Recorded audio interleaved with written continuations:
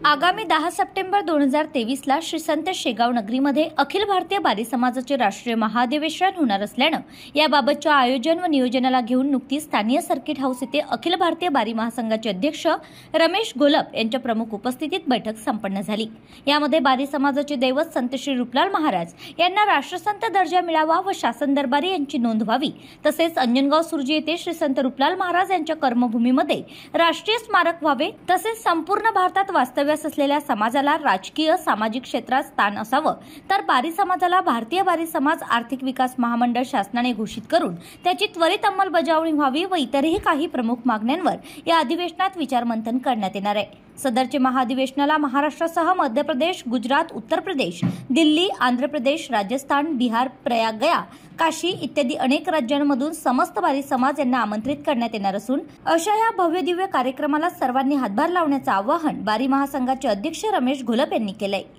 श्री संत गजानन महाराजांच्या पुण्यनगरीमध्ये शेगाव येथे